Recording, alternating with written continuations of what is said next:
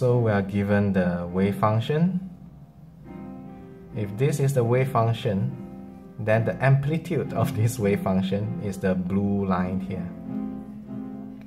To get the probability density function, we know that we got to square the amplitude of the wave function. So by taking the square of this blue line, you are going to get option B. Um, we are rejecting C because um, option C looks too much like just the amplitude of the wave function without squaring.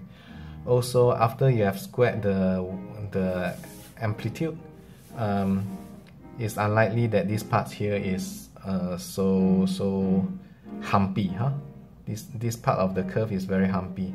The correct one should look more like this, smooth. Okay, that's all I have to say.